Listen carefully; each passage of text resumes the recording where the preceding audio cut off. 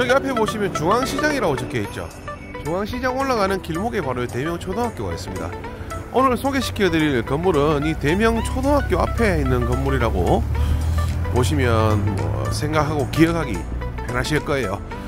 일단 층에는 미용실이 입점이 되어 있고요. 간접등과 이렇게 인테리어 된 걸 보면 이 당시 지었을 때도 꽤나 감각 있게 이 당시에는 거의 완전 최고급이었죠.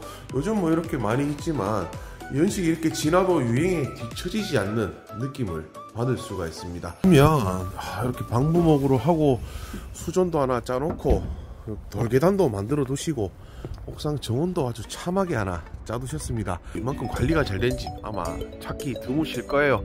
세월이 지나면서 뭐 지가 상승된 부분이 있지만 거품 낀 건물은 아닙니다. 매매 가격 부분도 충분히 조절이 가능한 부분이고요. 어느 정도 선까지 주인분과 충분히 이야기가 되어 있고 주인분도 그렇게 맡기신 분은 아니시더라고요. 감사합니다.